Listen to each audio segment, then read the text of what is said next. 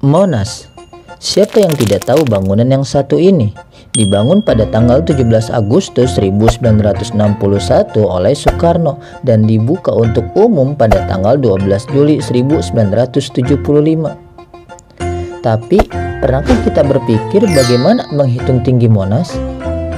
Ternyata kita dapat menghitungnya dengan mudah menggunakan konsep kesebangunan. Penasaran?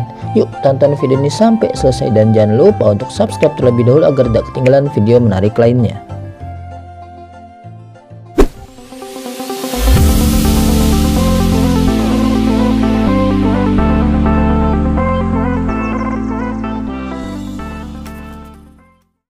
Assalamualaikum warahmatullahi wabarakatuh. Nah, bagaimana kabarnya? Semoga selalu sehat dan tetap semangat. Nah, pada kesempatan kali ini kita masih akan membahas materi kelas 9 yaitu tentang kesebangunan. Nah, sebelum kita lanjut videonya, yang belum sarapan jangan lupa sarapan dulu. Kalau sudah sarapan langsung saja subscribe, like, comment, dan share, oke? Okay? Nah, ketika kita bahas materi tentang kesebangunan, agar kan lebih mudah memahami, kita langsung ke contoh deh. Nah, misal ada persegi panjang A dengan panjang 20 cm dan lebar 12 cm. Nah, kemudian ada persegi panjang B dengan panjang 10 cm dan lebar 6 cm. Nah, sebenarnya persegi panjang A ini sebangun dengan persegi panjang B. Nah, kemudian kita lanjut ke contoh kedua. Nah, sekarang ada trapesium A ini, trapesium sama kaki dengan panjang alas 13 cm, sisi miring 5 cm, dan sisi atap 7 cm. Nah, kemudian ada trapesium B juga, trapesium sama kaki juga dia. Nah, alasnya itu 39 cm, sisi miringnya 15 cm, dan sisi atapnya 21 cm. Nah, sekarang kira-kira ini sebangun nggak? Nah, nggak tahunya ternyata trapesium A juga ini sebangun dengan trapesium B. Nah, kemudian selanjutnya contoh lagi, misalkan ada jajar genjang A dengan panjang sisi 15 cm dan 8 cm. Kemudian ada jajar genjang B lagi dengan panjang sisi 20 cm dan 12 cm. Nah, kira-kira apakah jajar genjang A dan B sebangun? Nah, ternyata jajar genjang A ini dia tidak sebangun dengan jajar genjang B. Nah, kemudian misalkan lagi ada segitiga A dengan panjang sisi 6 cm, 8 cm, dan 10 cm. Nah, kemudian ada segitiga B lagi dia. Masih sama ya, segitiga siku-siku dengan panjang sisi 9 cm, 12 cm, dan 15 cm. Nah, sekarang kira-kira segitiga A dan segitiga B apakah sebangun? Nah, ternyata segitiga A dia sebangun dengan segitiga B. Nah, sekarang coba kalian perhatikan dari empat contoh ini. Yang pertama, persegi panjang A sebangun dengan persegi panjang B. Trapesium A sebangun dengan trapesium B. Contoh ketiga, jajar genjang A, dia tidak sebangun dengan jajar genjang B. Kemudian segitiga A sebangun dengan segitiga B. Nah, kira-kira kenapa contoh 1, 2, dan 4 dia sebangun, sedangkan contoh 3 dia tidak sebangun. Padahal bangun datarnya sama. Nah, kira-kira gimana? Coba bisa kalian perhatikan, bisa kalian simpulkan? Nah, ternyata kesebangunan dia ada syarat. Nah, dan syarat kesebangunan itu ada dua. Yang pertama, perbandingan semua sisi yang bersesuaian sama besar. Yang kedua, sudut yang bersesuaian sama besar. Nah, jadi fokusnya ada dua. Yang pertama, perbandingan semua sisi yang bersesuaian. Kemudian yang kedua, yaitu sudut yang bersesuaian. Jadi yang dilihat cuma dua itu. Nah, maksudnya gimana? Nah, kita lihat maksudnya. Contohnya seperti ini. Sekarang ada bangun datar A persegi panjang dan persegi panjang B. Nah, kita pengen tahu dia kenapa dikatakan sebangun. Tinggal lihat syaratnya. Gimana tadi syaratnya? Perbandingan sisi yang bersesuaian harus sama besar. Nah, kita lihat sisi yang pertama. Misalkan sisi yang 20 cm ini dia bersesuaian dengan sisi yang mana? Iya dengan sisi yang ini yang 10 cm bersesuaiannya. Nah, udah tinggal kita tulis deh. Karena tadi perbandingan berarti tinggal kita tulis 20 per 10 karena perbandingan boleh ditulis dengan per. Nah, kemudian bisa diperkecil nggak 20 per 10? Bisa ya, dibagi berapa? Iya, kedua ruas sama-sama kita bagi 10. 20 dibagi 10 hasilnya 2, 10 dibagi 10 hasilnya hasilnya 1. Nah, kemudian sisi yang bersesuaian mana lagi? Iya, sisi yang ini ya, yang 12 cm bersesuaian dengan mana?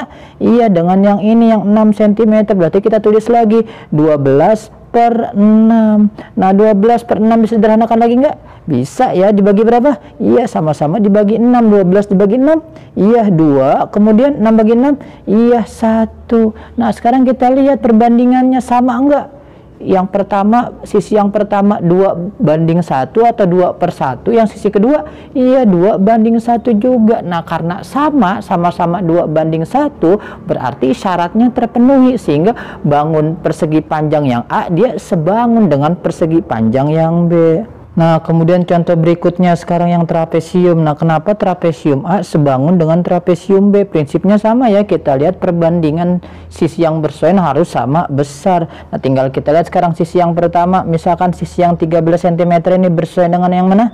Iya, dengan yang 39 cm. Berarti tinggal kita tulis ya, 13 per 39. Nah, bisa diperkecil nggak 13 banding 39? Bisa ya sama-sama dibagi berapa?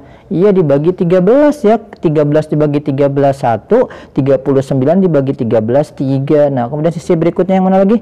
Iya yang 5 ya, boleh. Yang 5 cm yang ini bersama dengan yang mana? Iya dengan yang ini yang 15 cm. Berarti kita tulis lagi ya sama dengan 5 per 15. Nah, 5 per 15 bisa sederhanakan enggak? Bisa juga ya dibagi berapa kedua ruas? Iya sama-sama kita bagi deh dengan 5. 5 dibagi 5 1, 15 dibagi dibagi 5 hasilnya 3 sama ya sama-sama 1 per 3 ini juga 1 per 3 selesai belum? Belum tentu ya kita lihat yang satu lagi karena khawatir dia ternyata beda perbanding karena syaratnya semuanya harus sama perbandingannya yang berikutnya lagi kita cari lagi yang terakhir yang sisi yang 7 cm ini dia bersesuaian dengan yang mana? iya dengan 21 cm berarti kita tulis lagi ya 7 per 21 nah tinggal kita lihat lagi disederhanakan gak nih bisa juga ya dibagi berapa? Iya, semua harus kita bagi deh dengan 7. 7 dibagi 7 sama dengan 1. Kemudian 21 dibagi 7 hasilnya 3. Nah, berarti tinggal kita lihat perbandingan semua sisinya sama enggak? Iya, semuanya sama ya. Sama-sama 1 per 3, 1 per 3, 1 per 3. Nah, berarti ini perbandingan semua sisi yang bersoyannya sama besar. Nah, kalau sama besar, berarti dia sebangun enggak? Iya, bangun sebangun. Nah, berarti kita dapat kesimpulannya ternyata trapesium A dia sebangun dengan trapesium B oke okay? Nah selanjutnya sekarang contoh berikutnya yang jajar genjang A. Dengan jajar genjang B prinsipnya sama ya. Kita cari sisi yang bersayannya dulu ya. Nah 15 sisi yang 15 ini bersama dengan sisi yang mana? Iya dengan yang 20 cm berarti kita tulis ya 15 per 20 disederhanakan nggak? Bisa ya sama-sama dibagi berapa? Iya dibagi 5 ya 15 dibagi 5 hasilnya 3 20 dibagi 5 hasilnya iya hasilnya 4 Nah kemudian sisi yang bersama lagi mana lagi? Yang 8 cm bersama dengan yang mana? Iya dengan yang 12 cm berarti kita tulis ya sama dengan 8 per per 12 nah selanjutnya bisa sederhanakan 8 bagi 12 bisa ya sama-sama dibagi berapa? Iya dibagi 4 ya. 8 dibagi 4 hasilnya 2 12 dibagi 4 hasilnya? Hasilnya 3 nah sekarang kita lihat perbandingan sisi yang pertama 3 banding 4 atau 3 per 4 sedangkan sisi yang kedua 2 banding 3 atau 2 per 3 berarti perbandingan sisi yang besarnya sama enggak iya dia tidak sama dengan atau dia berbeda. Enggak sama. 1 3 per 4 1 2 per 3 nah berarti jajar genjangnya sebangun nggak? Iya, jajar genjang A dia tidak sebangun dengan jajar genjang B karena perbandingan sisi yang bersoalnya dia tidak sama besar, oke? Nah, untuk contoh yang keempat yang segitiga, nah kalian cari ya kenapa bangun segitiga itu sebangun atau tidak. Nah, kemudian selanjutnya setelah kalian memahami tentang konsep kesebangunan, kita akan mempelajari tentang aplikasi kesebangunan dalam kehidupan sehari-hari. Nah, ternyata kesebangunan itu sangat berguna dalam kehidupan sehari-hari. Nah, contohnya misalkan ada sebuah perusahaan coklat memproduksi coklat dengan ukuran yang sebangun seperti terlihat pada gambar berikut. Nah, ini ada gambar coklat A dan gambar coklat yang B. Nah, seperti ini gambarnya. Nah, pertanyaannya tentukanlah nilai Y dan luas coklat B.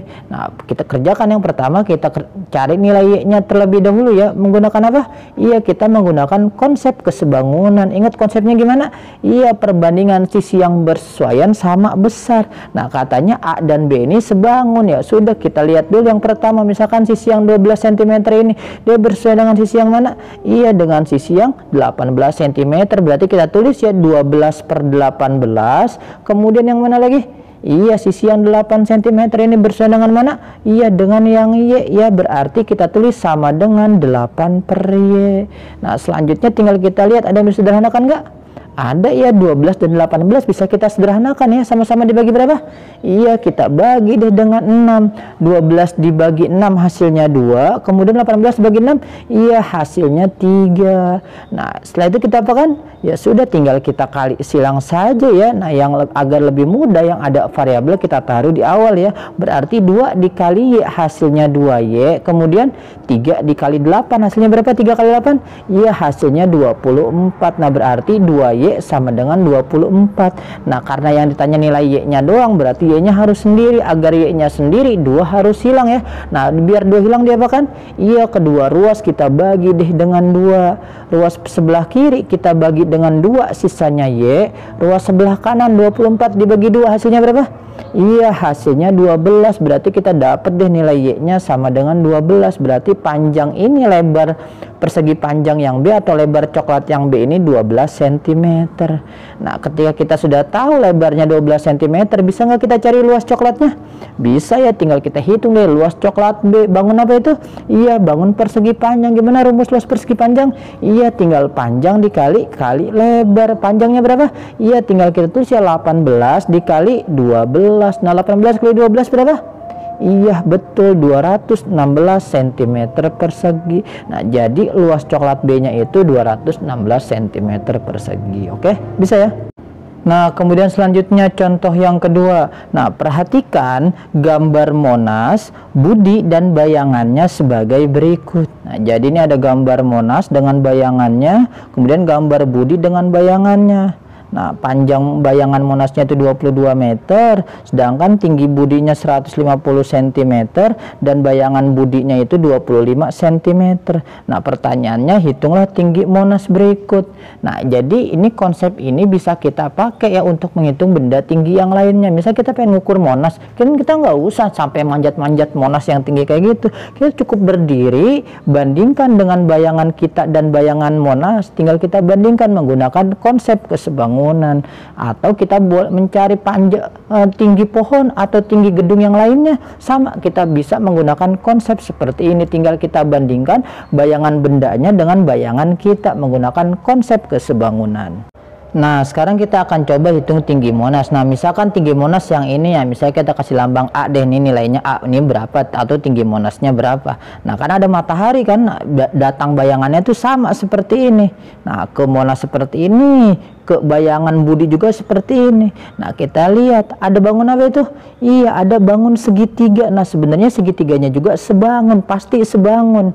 Ya sudah tinggal kita lihat deh, kita pakai konsep kesebangunan. Ingat perbandingan sisi yang bersesuaian. Kita cari sisi yang bersesuaiannya dulu ya, yang mana? Misalkan 22 meter ini bersesuaian dengan mana? Dia dengan 25 berarti kita tulis ya 22 per 25 nah sama dengan nasi si A ini bersama dengan mana? Iya dengan 150 berarti A per 150 nah ada yang bisa sederhanakan enggak belum ada ya nggak ada ya. Sudah tinggal kita kali silang saja. Nah ingat yang ada variabelnya kita diawalkan ya biar lebih mudah. Berarti 25 kita kali dengan A 25A sama dengan 22 dikali 150 wah berapa? Ya kita tulis saja dulu. 22 dikali 150 nah kemudian boleh langsung dikerjakan atau nanti belakang juga nggak apa-apa. Nah kita cari nilai A nya kan karena tinggi monas tadi A biar A nya sendiri kita apa kan? Iya kedua ruas kita bagi deh dengan 25 ruas sebelah kiri 25A dibagi 25 sisanya A. Ruas sebelah kanan ya sudah tinggal kita tulis saja berarti ya 22 dikali 150 dibagi 25 baginya kita pakai per saja ya. Nah kemudian ada bisa sederhanakan nggak? Coba ada bisa sederhanakan? Ada ya yang mana? Iya 150 dan 25 ya. Bisa kita sederhanakan ya. Sama-sama dibagi berapa? Iya sama-sama dibagi 25 150 dibagi 25 sama dengan 6 25 dibagi 25 iya sama dengan 1 kemudian tinggal kita apa kan? Ya sudah tinggal kita kali ya. Berarti tinggal 22 dikali 6 nah 22 dikali 6 berapa? Iya 132 meter. Berarti satuannya meter. Berarti kita dapat ya. Tinggi monasnya itu sama dengan iya 132 32 oke bisa ya Oke, mungkin sekian dari saya. Kurang lebihnya mohon maaf. Terima kasih segala perhatian. Mohon maaf atas segala kekurangan. Kalau ada pertanyaan, tulis kolom komentar ya. Nah, untuk video berikutnya masih tentang kasus bangunan, linknya ada di atas. Sampai jumpa pada video berikutnya. Salam matematika.